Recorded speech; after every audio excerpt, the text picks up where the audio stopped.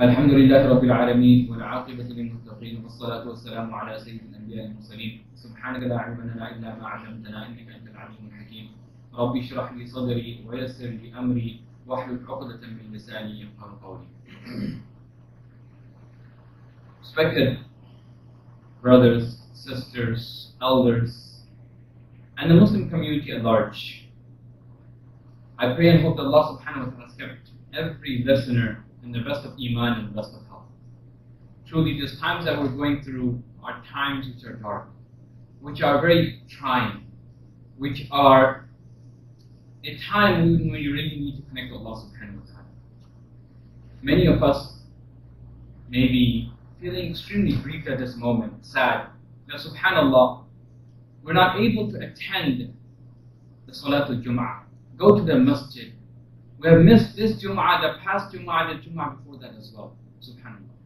The Muslims are so connected to the day of Jum'ah as something that we all look forward to. Even a person, subhanAllah, that doesn't normally come to the masjid, is not attached to the masjid, doesn't attend the programs in the masjid, but yet on the, when the day of Jum'ah comes, irrespective of where he may be, whatever work he may have, he will make some time and make his schedule such that you know what, I need to make it to Salatul Jum'ah. I need to make it to the masjid. That's one gathering that I'm not going to miss. Many of us may be thinking, Ya Allah, we are missing out on the reward which Allah subhanahu wa ta'ala specified for this day, which Rasulullah sallallahu says that a person on the day of Jum'ah does, does ghusl, takes a shower, and then after that he puts on perfume and oils himself and walks to the masjid. For every step that he takes, subhanAllah, Rasulullah sallallahu alayhi wasallam says, Allah subhanahu wa ta'ala grants him the reward of an entire year. One step, entire year. قِيَامُهَا وَصِيَامُهَا Fasting of it and praying. SubhanAllah. And we should be crying inside, Ya Allah, we're being deprived of this. But let us understand something. If we look at the annals of history, we will see that Islam didn't always have the day of Jummah. It was a privilege that was granted to us. The Ummah of Rasulullah Let's understand for a moment before we continue that this day of Jummah was something special. It was not something that was granted to every single Muslim that ever lived on the face of the earth. The Ummah of Adam salam did not have it. The Ummah after that did not have it. The Bani Israel, who were known to be a sacred nation, whom Allah subhanahu wa ta'ala bestowed many gifts. He bestowed food from the heavens for them. Allah subhanahu wa ta'ala showed them signs that He never showed any other nation. He saw, showed them a camel coming out of the mountain. Allah subhanahu wa ta'ala showed them a person being revived from the dead. But yet, this day of Jum'ah was not granted. This day of Jum'ah was granted to the Ummah of Rasulullah sallallahu alayhi wa sallam. In hadith narrated by Abu Hurairah radiallahu anhu, which is in Muslim, Rasulullah sallallahu alayhi wa sallam is reported to have said that أَضَلَّ اللَّهُ عَنِ الْجُمْعَةِ مَنْ كَانَ قَبْلَنَا that Allah subhanahu wa ta'ala diverted every other nation away from the day of Jum'ah, every other nation before us. فَكَانَ الْيَهُودُ فَكَانَ الْيَهُودِ يَوْمُ السَّبْتِ For the Yahud had of Saturday for themselves. وَكَانَ نَصَارَى يَوْمُ الْأَحَدِ And the Nasara or the Christians had the Sunday for themselves. فَجَاءَ اللَّهُ بِنَا Then Allah subhanahu wa ta'ala brought us. فَهَدَانَ اللَّهُ الْيَوْمِ الْجُمْعَةِ Then Allah subhanahu wa ta'ala guided us to the day of Jum'ah.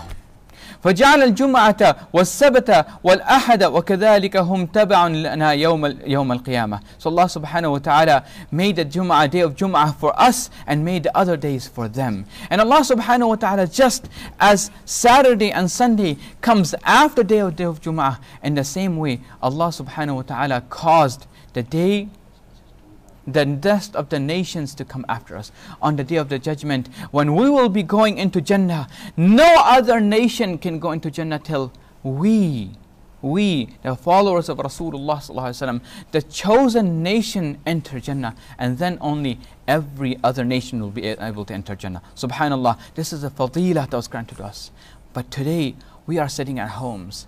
After Rasulullah had performed Jum'ah, after Rasulullah has prescribed the day of Jum'ah for us, yet we are deprived from it. We have to sit at home and we are not able to attend the day of Jum'ah. A day of Jum'ah on which we could have socialized, met our Muslim brothers, hugged our Muslim brothers, said salam to our Muslim brothers. Now, let us think for a moment what caused this decline? What caused this? Yes, a person may say it's just a sickness, it's just a virus which Allah subhanahu wa sent out. It is a test. But tests don't come for any reason. If we see the time of Fir'aun, as Allah subhanahu wa talks about the Bani Israel, Bani Israel were an oppressed nation. And you could say that today the Muslims around the world are also oppressed nation. And maybe as Rasulullah mentioned in the hadith, when you ask about the ta'un, Rasulullah says, إنه عذاب يبعثه الله على من يشاء that indeed it is a punishment which Allah subhanahu wa ta'ala sends upon whomsoever he wills and he has sent as a punishment because of the oppression being caused upon the Muslims around the world maybe some person had made a dua one person and maybe Syria one person maybe in Palestine maybe a person in China anywhere in the world one person being oppressed, maybe person in India made dua that, Oh Allah, I as a Muslim, I believe in you. I am part of the ummah of Rasulullah I believe in Rasulullah. Ya Rasulullah, I'm being oppressed today. Maybe he made that dua and in return, Allah subhanahu wa ta'ala decided, you know what? These people need to be punished. It is a punishment from Allah subhanahu wa ta'ala. But what have we as Muslim done to prevent this? In hadith for Rasulullah sallallahu alayhi wasallam, Rasulullah sallallahu is reported to have said, the army will come. The army will come. And every one of that person whom will be part of that army will be destroyed. They'll be swallowed by the earth. They'll be involved in that punishment. So Aisha radiallahu anha asked, Ya Rasulullah, that what if there's some people amongst them who are not part of the army? They're just they're with the army to benefit um, in terms of um, being socially with them, maybe to earn something. Rasulullah says that no, the, from the first till the last, everyone will be included within the punishment. And day of judgment, they shall be raised according to their intention. We living in America, especially, we living within this world where so many wrongs are happening Yes, maybe our intentions are true and right. Maybe we are here with the correct intention to invite the disbelievers in this country towards Islam to show them the teachings of Rasulullah sallallahu But yet we live amongst them, and we may be involved in that punishment as well. But let us understand for a moment, as Muslims, are we really living as Muslims? That today we have been deprived by uh, uh, um, from socializing. Remember, socializing is a ni'mat from Allah subhanahu wa ta'ala. Socializing is a ni'mat from Allah subhanahu wa ta'ala. So much so that Allah subhanahu wa ta'ala, through the sunnah of Rasulullah sallallahu encourages our socializing. Rather, commands our socializing. When Allah subhanahu wa ta'ala says in the Quran, Ya ayyuhalladhina amanu sabiru wa sabiru wa rabitu. That, O people, have patience, encourage patience.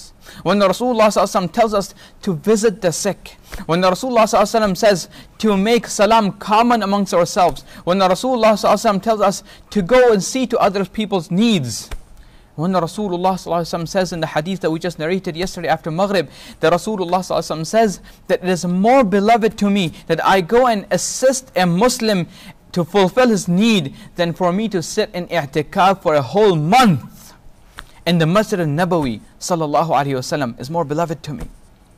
Isn't Rasulullah encouraging socializing? But within the socializing, Rasulullah has us some etiquettes. Allah subhanahu wa ta'ala has set some boundaries. Now, within the socializing, have we kept to those boundaries? Have we kept to those etiquettes of socializing? How many times we come to the masjid and Rasulullah says that spread salam to ala man ta'rif wa man lam ta'rif. Say salam to the person you know and who you don't know. You come to the masjid, we don't look at anyone else.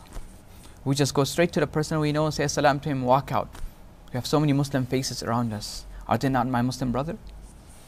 Hasn't Allah subhanahu wa ta'ala said in the Quran, إِنَّمَا الْمُؤْمِنُونَ إِخْوَةً That the believers are brothers? Don't they deserve our salam and our peace from our sides?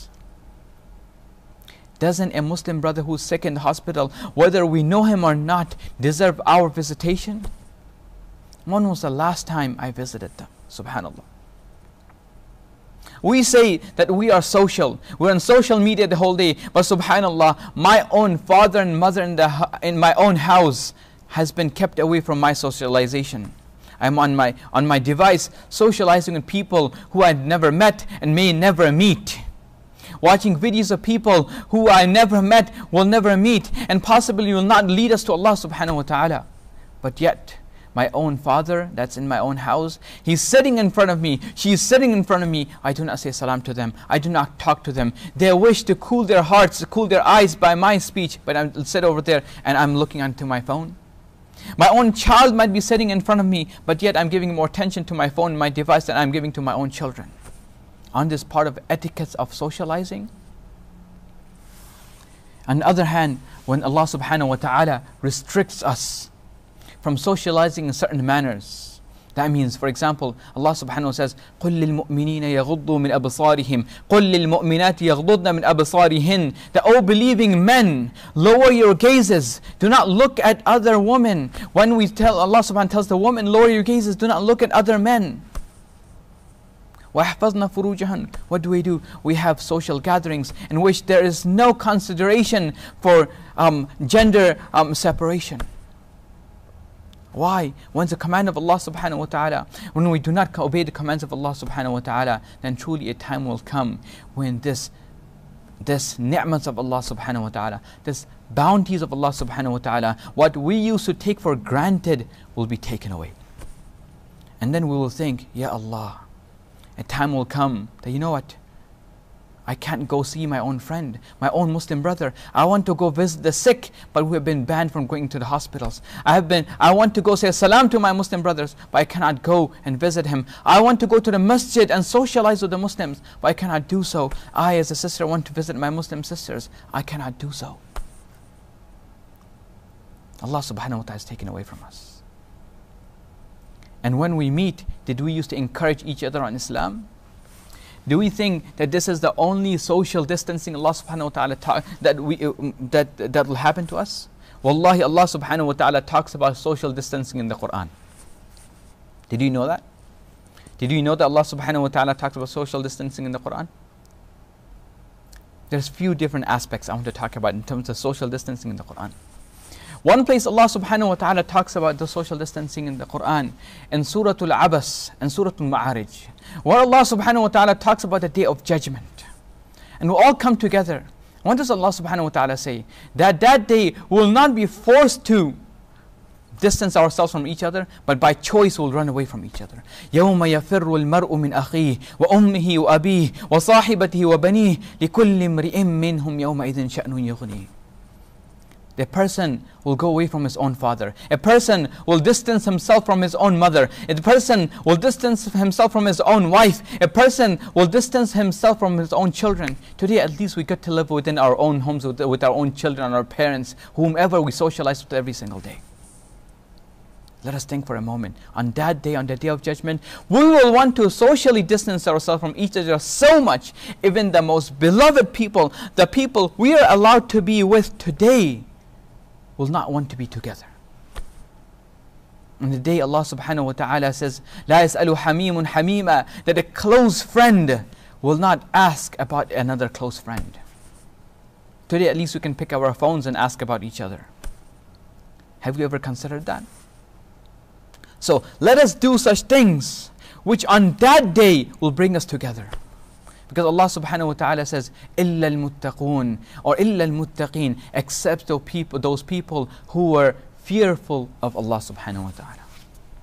In the hadith of Rasulullah, in, in, sorry, in the ayat of the Quran, Allah subhanahu wa ta'ala says that beware of those people who are, or rather, stay away from those people in spite of them being your family, your fathers, your brothers, your ashira, your family, people you socialize with. Because why? They are things that will keep you away from Allah subhanahu wa ta'ala. And Allah subhanahu wa ta'ala says, if any one of them, whether it's your parents, whether it's your brothers, whether it's your siblings, whether it's your, um, your business, whether it's your homes, take it away from Allah subhanahu wa ta'ala, then فَتَرَبَّسُوا حَتَّى يَأْتِيَ اللَّهُ بِأَمْرِ Then wait for the moment when the command of Allah subhanahu wa ta'ala comes. At that moment, even if you want to use those people to get closer to Allah subhanahu wa ta'ala, that moment will be gone. That opportunity will be gone. When the time has come when Allah subhanahu wa ta'ala has taken the opportunity away from us to socialize.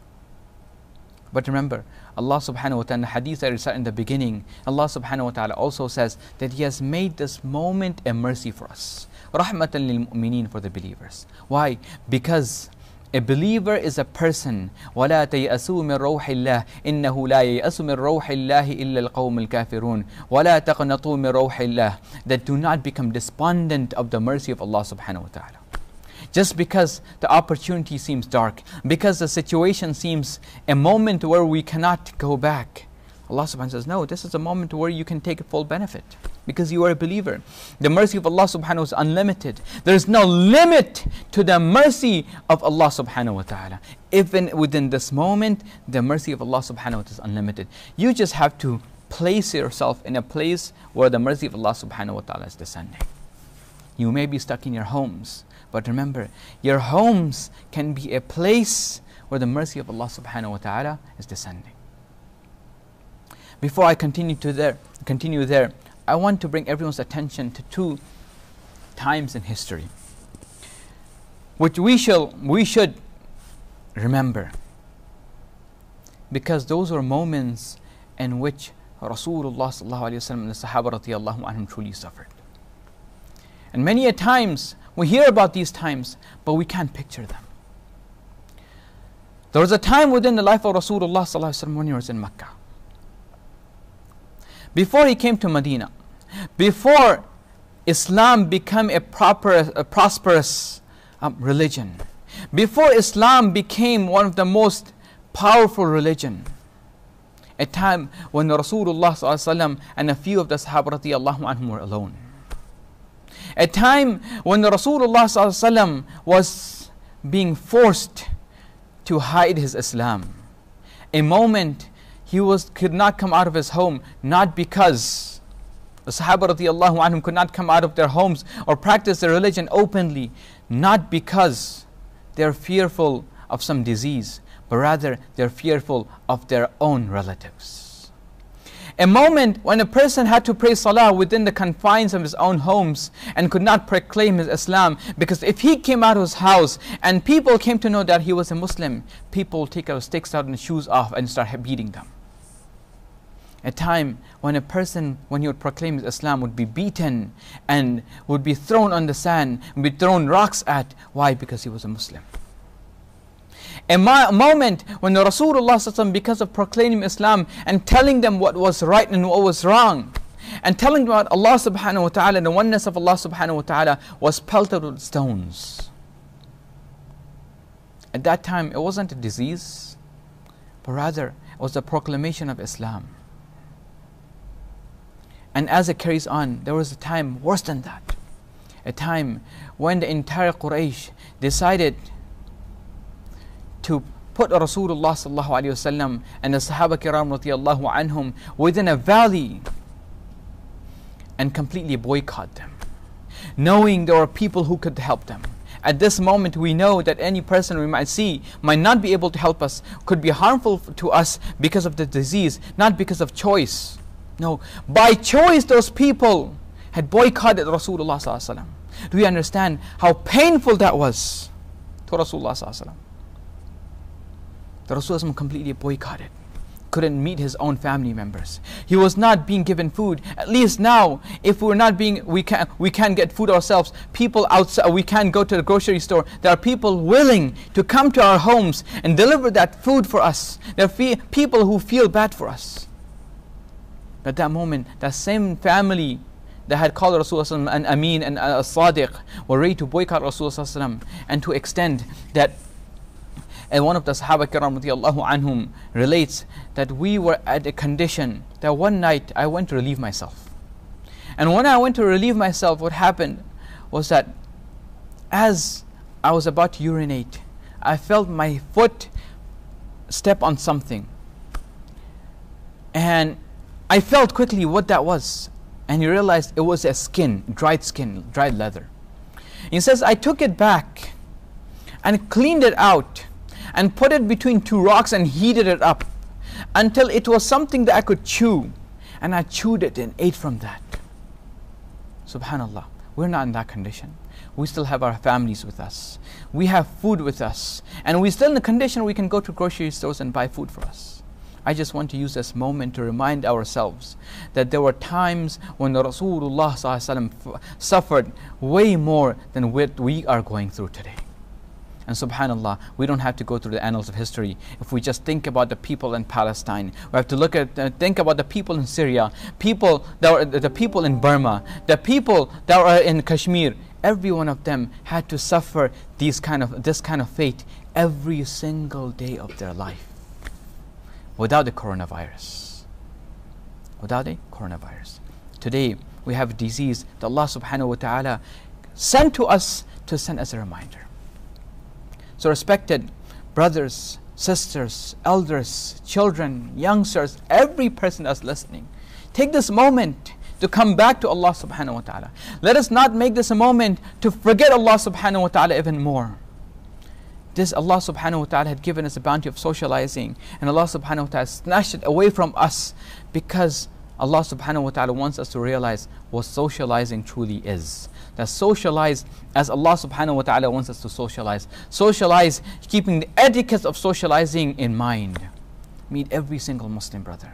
Do not have any ill feelings towards another Muslim brother. Do not harm another Muslim brother. Do meet, make salam to every single Muslim brother, whether you know him or not. Now, I want to end off with a few things that we can do within our homes. In hadith of Rasulullah sallallahu alaihi wasallam, Rasulullah sallallahu tells us with regard to hadith, which Ibn Umar radiallahu anhu relates, that a man came to Rasulullah sallallahu alayhi and he asked, Ya Rasulullah, who is the most beloved person to Allah subhanahu wa ta'ala? And what is the most beloved deed to Allah subhanahu wa ta'ala? So remember, we're sitting in our homes right now. And every one of us should be thinking, that what can cause me to become from amongst those people who are the most beloved to Allah subhanahu wa ta'ala.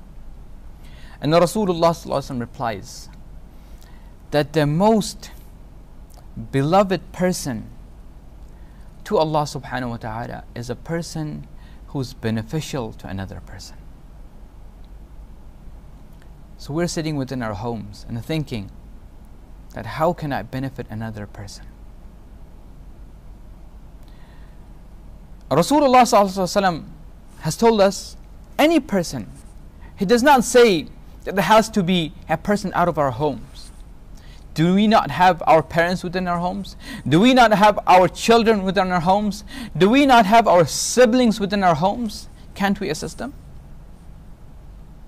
We as children, can we assist our mothers in, their, in the chores of the homes? Can we assist our mothers and whatever other duties of the house they have? Can we not assist our father in terms of the work he, that he has? Can we not uh, assist our siblings in maybe even the homework that they have? There's a need that they have. And more than that, can we not assist our siblings and our parents in recognizing Allah subhanahu wa ta'ala? Instead of sitting on that device of ours which will take us away from Allah subhanahu wa ta'ala, which will make us more worried and causes depression no, let's leave those things. Let's go to the Muslims within our homes and help them. Because Allah subhanahu wa ta'ala will then make us from amongst the most beloved of people. The second thing was the most beloved deed. Again, Rasulullah says that the most beloved deed is that you can cause happiness to the heart of another Muslim brother. Since this whole thing happened, very few of us have picked up a phone Yes, we have been, been deprived of the opportunity to go visit another Muslim brother. But how many of us have picked up the phone and called another Muslim brother and asked him, Brother, how are you doing? How's the family doing? Is there anything I can help you with? Just a phone call truly makes another Muslim brother's heart happy.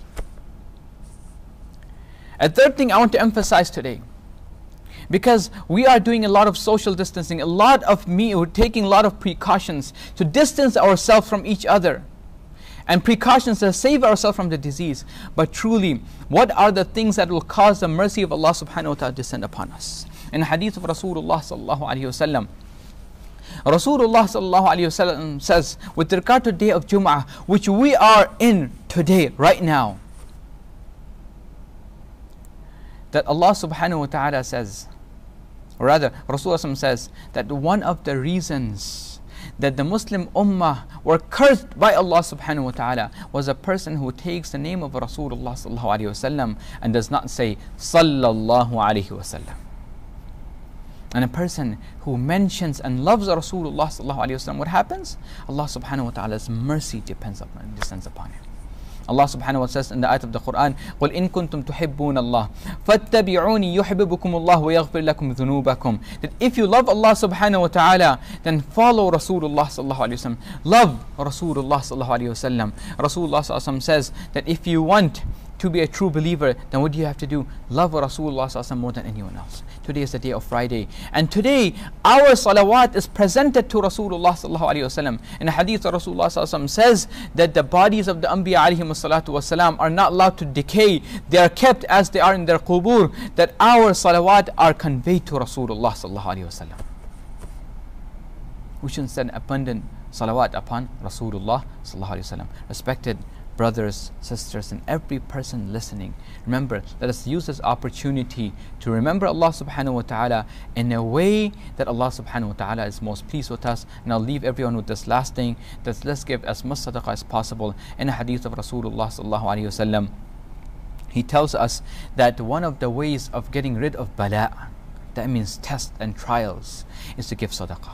And the more we give, the more Allah subhanahu wa ta'ala becomes pleased with us. Why? Because we are removing the love of the dunya from our hearts and bring the love of Allah subhanahu wa ta'ala within our hearts. May Allah subhanahu wa ta'ala grant us the ability to turn back to Allah subhanahu wa ta'ala within these trying moments. Make dua to Allah subhanahu wa ta'ala that Allah subhanahu wa ta'ala reopens the masajid for us, reopens those opportunities for us where we can re, uh, meet and socialize and collectively learn of the deen of Allah subhanahu wa ta'ala and remember Allah subhanahu wa ta'ala. Jazakum Allah khairan wa akhir وآخر دعوانا أن الحمد لله رب العالمين kindly do not do not forget any of the Muslims around the world wherever they may be in whatever condition they may be suffering may Allah subhanahu wa ta'ala alleviate their problems may Allah subhanahu wa ta'ala uh, remove their problems and grant them ease جزاكم الله خيرا وآخر دعوانا الحمد لله رب العالمين